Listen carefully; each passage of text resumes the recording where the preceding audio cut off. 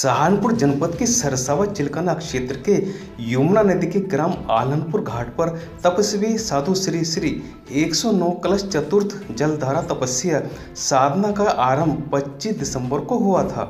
इस जलधारा तपस्या में 41 दिन तक तपस्वी बाबा गोरेनाथ ने कड़कती ठंड में सुबह तीन बजे ताजे पानी के 109 कलश से स्नान कर जलधारा तपस्या की।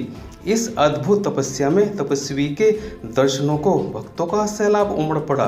कार्यक्रम का समापन समारोह एक भंडारा का आयोजन बुधवार 3 फरवरी 2021 योगी मोती नाथ की अध्यक्षता में हुआ। इस अवसर पर सोनू चौधरी, राजकुमार शर्मा, चौधरी राजेश, सतीश कुमार, चौधरी उपकरण अजय शर्मा, चौधरी राजेश, चौधरी संजय, प्रधान ग्राम भक्तजन से अधिक हज़ारों की संख्या में उपस्थित होकर प्रसाद ग्रहण किया। रिपोर्ट ओमपाल कश्यप। होनी चाहिए और इसका सम्मान रहना चाहिए और इसका हक भी निश्चित रूप से मिलना चाहिए। हम ऐसे महात्मा हैं जिन्होंने बचपन से, जब से फकीरी कर रहे आज तक किसानों में रहे। हम व्यापारियों में कभी गए ही नहीं और हमें पता किसान क्या चीज़ हो।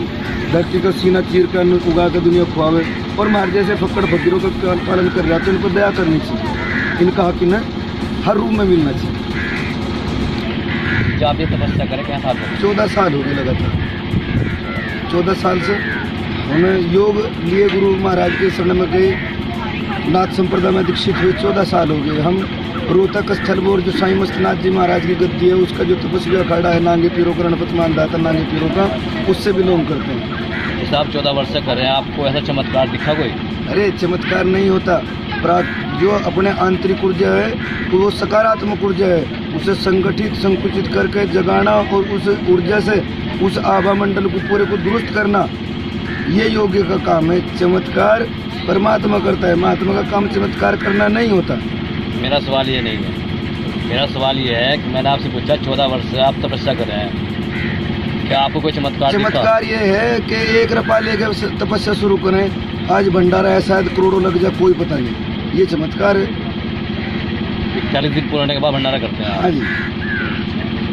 यही और महात्मा तो समझीते जागते चमत्कार हूँ भाई। चमत्कार ही